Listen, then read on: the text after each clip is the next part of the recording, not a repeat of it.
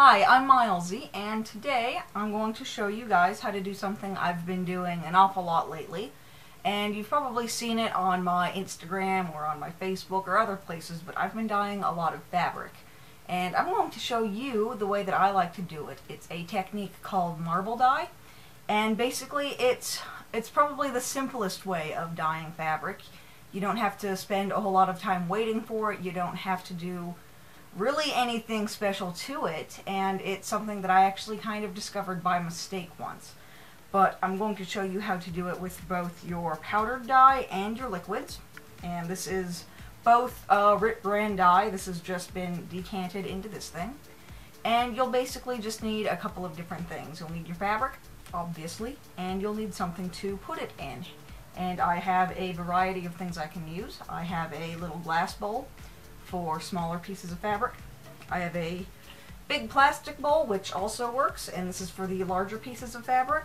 And there's also a stovetop method, and I have a couple of little pots and pans that I use just for dyeing fabric. And if you use something like this for dyeing fabric, you want to make sure that's all it's used for. You don't want to put food in these things.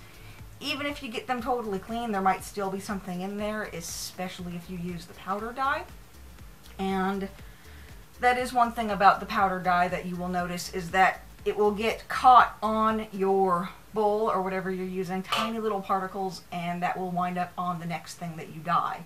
So if you're doing powdered dye, you might want to have a special container just for that and expect that in the future. So first we're going to use some powdered dye, and we're going to do black because I don't have any black in 14 count. And we want to take our bigger bowl because we're going to be using this big piece of fabric right here.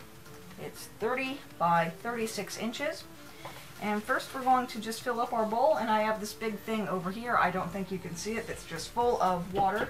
So here we go. Now we have our little bowl of water, and this water is salt water. The stuff that I have mixed over here is pre-mixed with salt. I just fill it up, put about a cup of salt or salt into the entire jug, and it's good to go.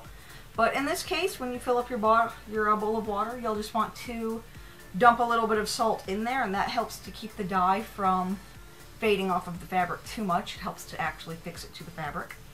And now we're going to take our dye and just pour some in. About like that, and it's going to make a big mess.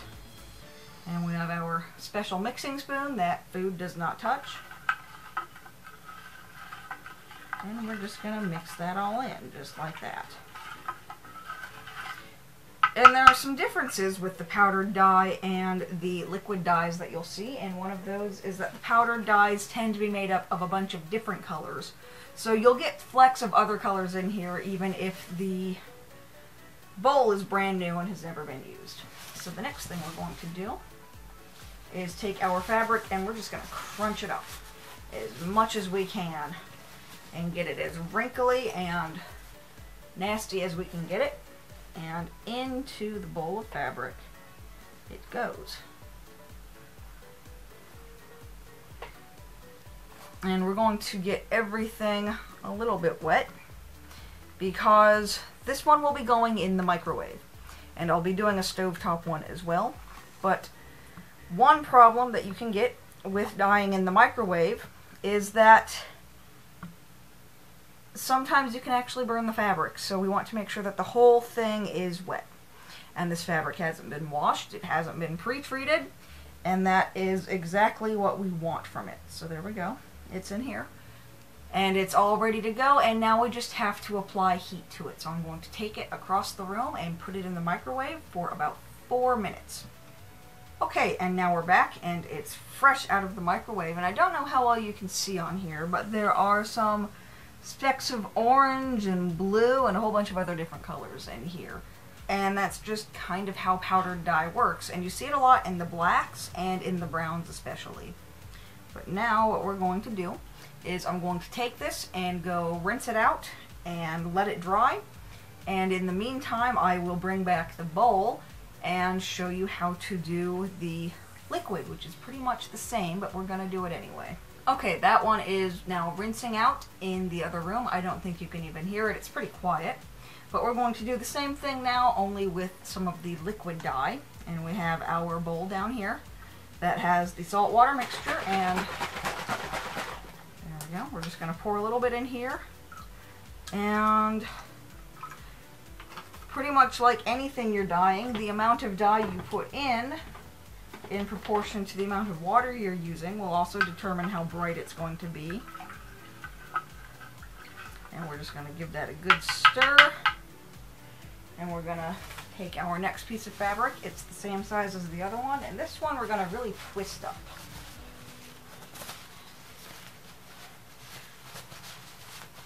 And you can twist it, you can crumple it, you can do pretty much whatever you want. And no two pieces of fabric are ever going to look the same.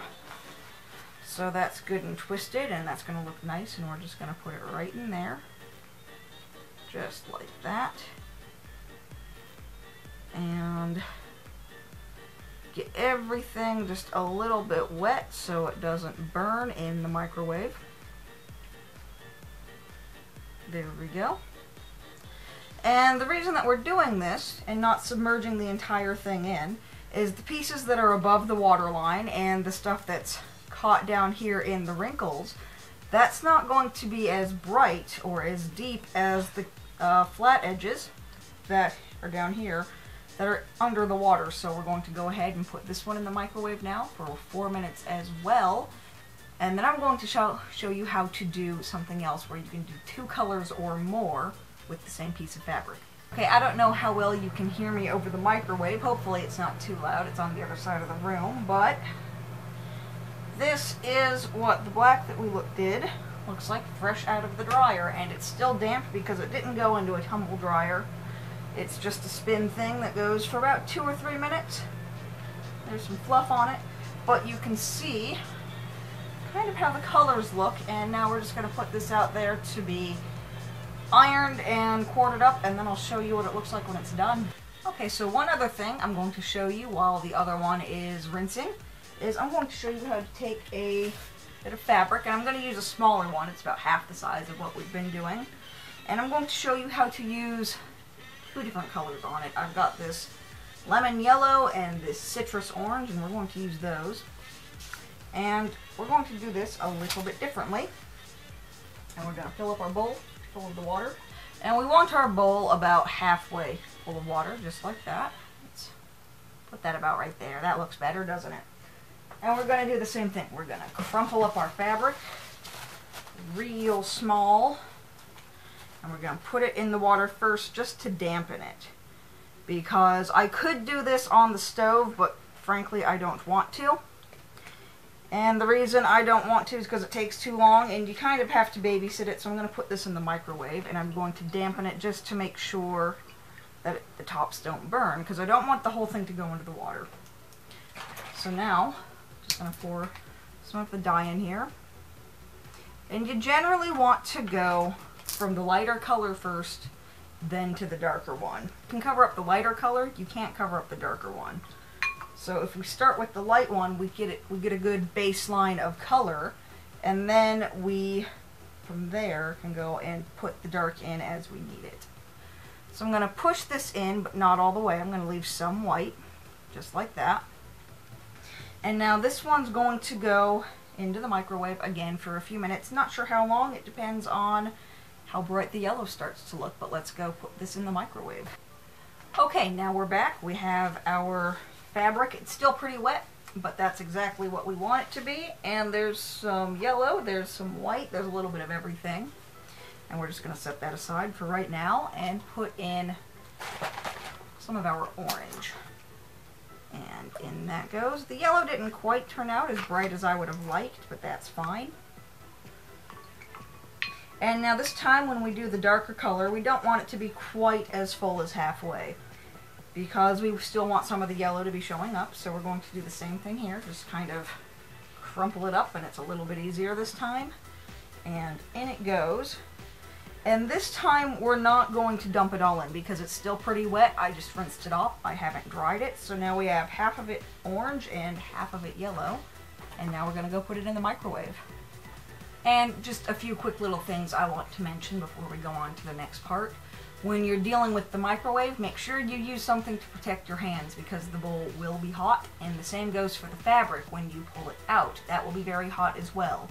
So what I have found is the best way to get the fabric out of the bowl is to place your bowl in the sink and pour some cold water on it until it gets cool enough for you to pull out.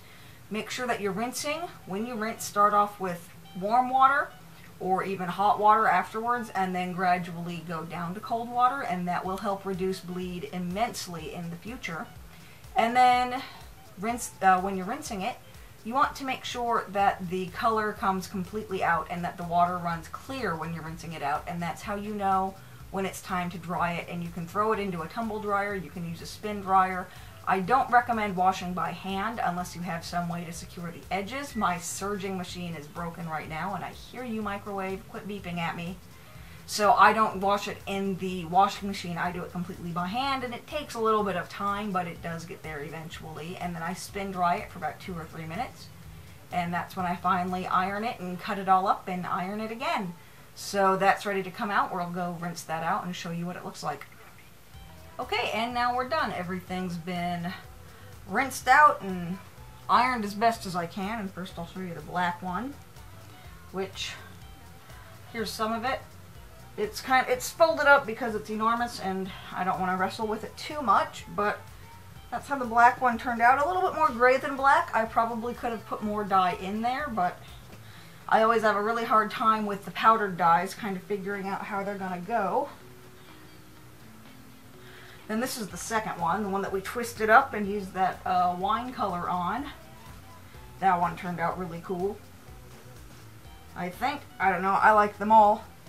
And then that last one that we did with the multiple colors. There's threads everywhere, and I'll get those when I quarter these up. That's this one right here. Isn't that one cool?